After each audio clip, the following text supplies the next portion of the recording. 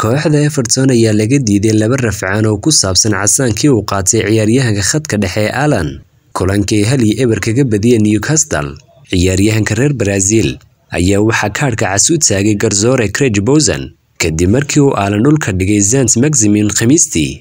everton ayaa sheegtay in loo diiday codsigoodii ahaa in la joojiyo go'aankaasi iyadoo uu heliyay rafcaan labaad oo lagu dhameeyay ganaaxa ciqaabta xadaafka ah.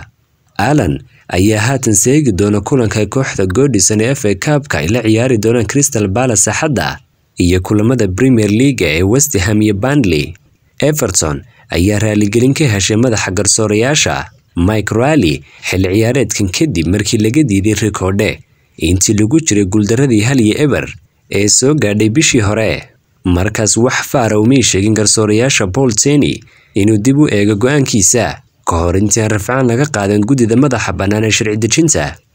madaxa tofis frank lambard ayaa sheegay inaan loo baahnayn raaligelin laakiin keliya ay muhiim tahay dib loo eego go'aanka